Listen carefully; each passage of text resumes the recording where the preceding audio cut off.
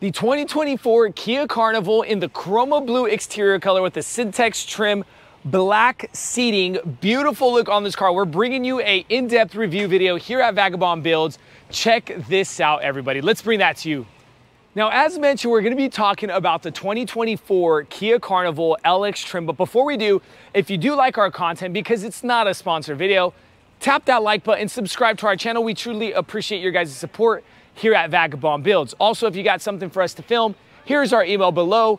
Email us, we could talk details later. A special shout out and a thanks to Roseville Kia for providing us this beautiful 24 Carnival for this car review. Keep watching, stay tuned. We're gonna be dropping that MSRP sticker so you guys get an exact idea of what the LX trim comes because there's just so much to talk about in this video. Now let's go ahead and talk Kia Carnival. So kicking this review off, let's talk some engine specs. Now we're looking at a V6 engine, gas direct injection, naturally aspirated, 3.5 liter, comes with an 8-speed automatic transmission, 290 horsepower with 262 pounds-feet of torque. For anybody who'd like to know a little bit about the MPG on this exact car, it is 19 city, 26 highway, and a 22 combined with a 19-gallon gas tank size, everybody. But let's go ahead and shut this hood and talk Kia Carnival. Beautiful look. So for anybody right off the bat who'd like to know about the exterior paint color, because I do get a lot of comments in the comment section, this is a chromo blue. Hopefully I'm pronouncing it right. Sorry for the mistake if I'm not, but it comes together with that kind of metallic silver, the black gloss. Beautiful look on these Kia Carnivals. Honestly, if you ask me, I'd honestly think this doesn't look like a minivan ex exactly. It's kind of like a hybrid between a minivan and kind of an SUV. And that's what I get word on the street is why people like them so much. But let's talk lighting, okay? LED premium lighting on the front with your LED daytime running lights. We left the hazards on so you guys get an idea of how it looks with your parking marker integrated in the headlight, giving it more of a minimalist or simple look because that parking marker is integrated with the lighting itself. But something I'd like to point out to you guys is we don't have that traditional cover for that headlight. That That's pretty interesting that we see on this car here. We do see certain other manufacturers might be doing this, but honestly, very interesting. Let me know what you think in the comments section below. Another thing is LX model, keep an eye out.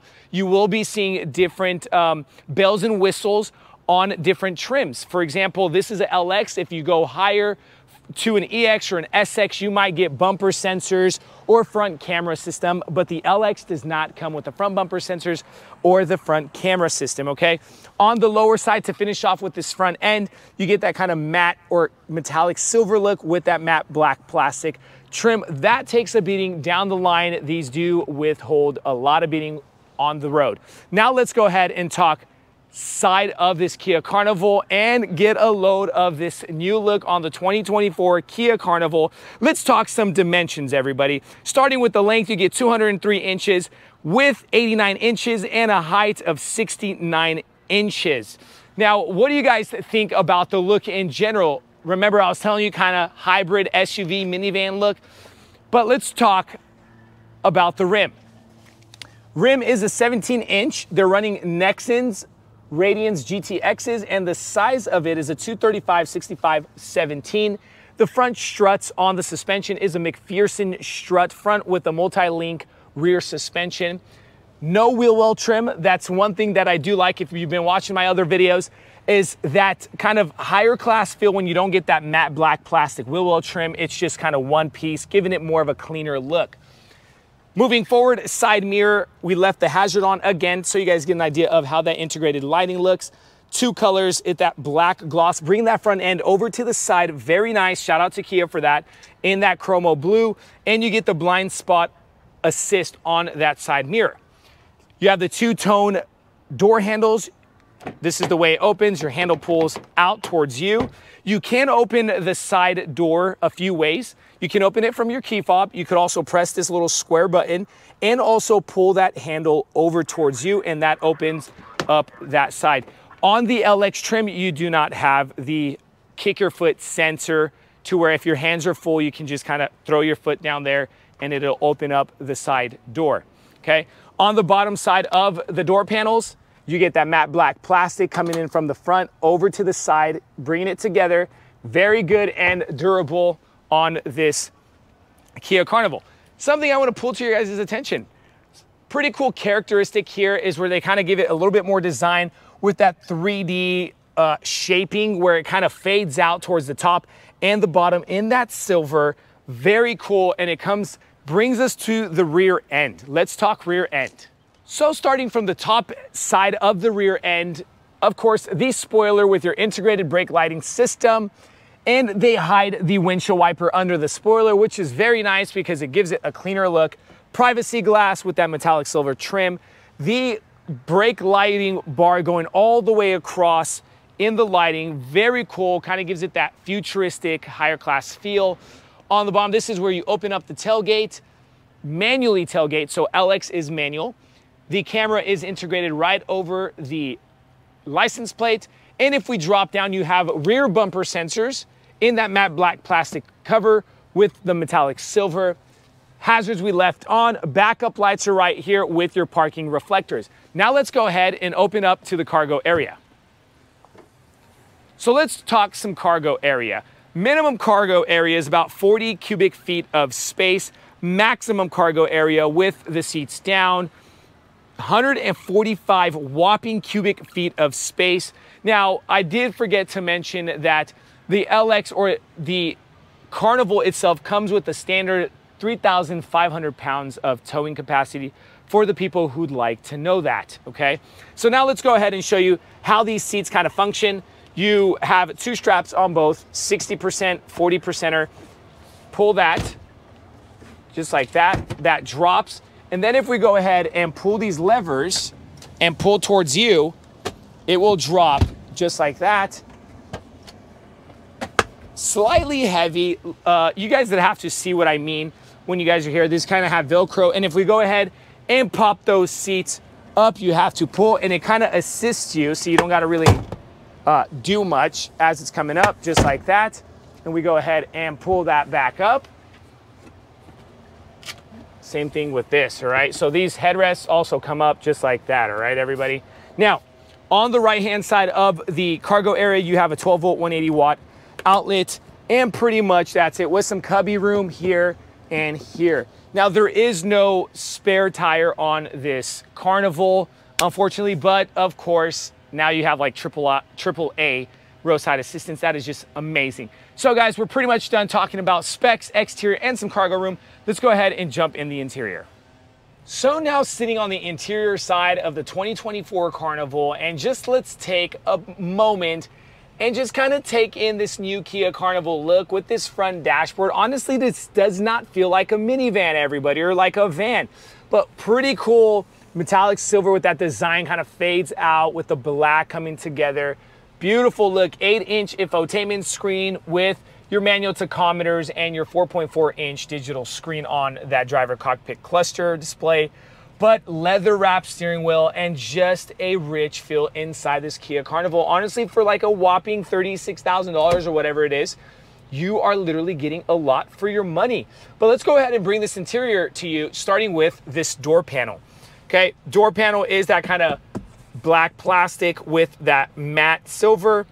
Again, that kind of matte black control unit for your windows and your side mirrors, all right? Dropping down, we have some more personal pocket space and a little cup holder down there. On the left-hand side of this manual steering column, you have two buttons to open up both of your sliding doors. You can power that on and off with another button. You have a lane assist button, traction control, and your auto dimmable uh, dashboard lighting system button, okay? Steering wheel leather wrapped as mentioned with the piano black gloss. You have the cruise control system on the right. On the left, you can control your info card with your music. You'd be controlling the info card with the right button, sorry. Check that out, all right? And this is music and radio media system here, okay? So behind here, you have your control unit for your windshield wipers and your lighting with your signal light system, all right? Coming over to the infotainment screen, go ahead and press menu. It is touch sensitive. You can edit your look, phone projection. Pretty responsive. Let's go to media. Bluetooth audio does come with Apple CarPlay, Android Auto right here, AM, FM, Bluetooth with USB music. So, I mean, if you shoot over to Roseville, uh, Kia, they will spend time with you because for the sake in time of this video, we do not have time because you will not be watching my videos if they are too long. But here's your climate look and this is what it looks like, just so you can get a gist of what it looks like. Now, dropping down again, you have the vents kind of integrated, nice sleek design inside the dashboard. Continuing forward, you have the temperature controls, your heat, it is a knob with your buttons for the airflow, vent, AC, rear, and again, where you want that air to be going. You got the fan in the back, and then you have the rear temperature knobs here. So this is pretty much a rear control uh, bar right here with the rear lock. You don't want people to touch it. That's also cool. Dropping down USB-A plugins. You literally have three here, USB and charging ports. No wireless charging pad on the LX. Keep an eye out for that in different trims. Cup holders nice and big. Leather wrapped shift knob in that kind of traditional shift knob look. Parking brake, which is in a very convenient location. Drive modes, you have up to four drive modes. You got normal, eco, sport, smart, and then we'll go back to normal, all right? Little bar here, control unit for your heated seats, parking sensors on and off, and your camera. Let's go ahead and press that, and that is your rear camera. And then you get two views on that camera, okay? Just so people will know. Let's go ahead and open this up. Some cubby room for your personal belongings like wallets, money, things like that. Up top, no sunroof on the LX trim. You get that soft yellow lighting inside here. All right, and pretty simple control unit for your lighting when your doors open. And your rear mirror is that kind of manual uh, rear mirror look. Syntex wrapped seating with the perforated look with that design coming in the uh, center insert. Very cool that they actually added some character to this car and they are manual controls. In front, you have your simple straight to the point glove compartment. We're done with first row seating. Let's go ahead and talk second and third row seating. Now you have second row seating inside the Carnival. Before I move forward, I wanted to clarify that the driver's seat is electrically controlled driver seat? I didn't want you guys to confuse. I meant the manual seat is passenger, uh, I mean passenger is manual controlled and driver is electric controlled. Now we're looking at a 40, 20, 40 second row seating and you can drop this center seat with this here, which opens up to you, the armrest with your cup holders and you go ahead and pull that up just like that. And it kind of has that flat Syntex look on the seating trim. Same look on the 40 and the 40, and you can control those through three different ways. To bring this seat forward and back, you have a lever here that you would be sliding forward and back. And then on the side of the seat itself, you have ways to change that uh, center, I mean, that backrest, two different ways, okay? Everybody that is also an option. Armrests on both sides. Now let's go ahead and jump inside the car. You can close the door right here on the A-pillar, right under the O-snap handle. Close that door. In front of us, we see pockets. And on the side of your seats, which is different for the Kias, is you have the USB-A plugins on the side of the seats instead of typically on the back of that center console cup holders, 12 volt, 180 watt outlet, and some little bit more cubby room, all right? So now, pretty much done. Now, before we go over to the third row seating, one thing I wanna finish the second row seating with is up top, okay? You get that soft yellow lighting, all right? And here your, your vents, but also on the passenger side is where you get your climate controlling system for the second row or the rear climate control, all right? We can turn that off from here. We can control the vents which way we want that air to flow and the temperature, right? So now let's go ahead and open this door and jump inside the third row seating.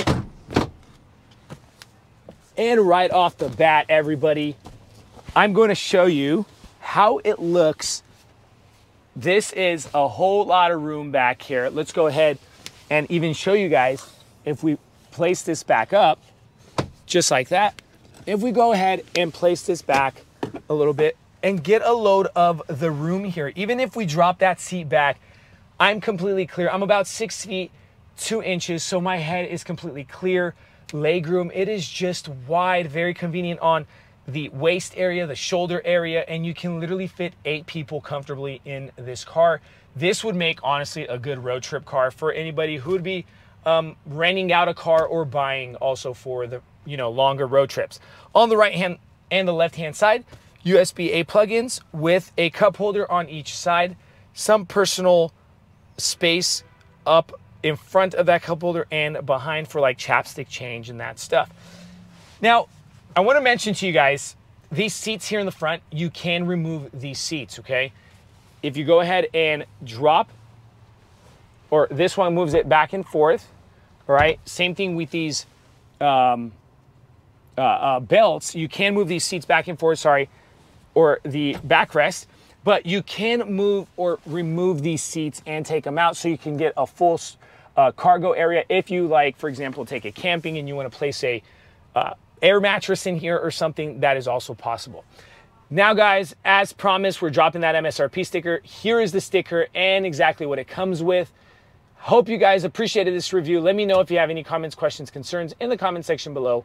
I'll try to get back to you guys as best as possible. Thanks guys for watching our channel here at Vagabond Builds. Stay tuned, we have more things coming. God bless you.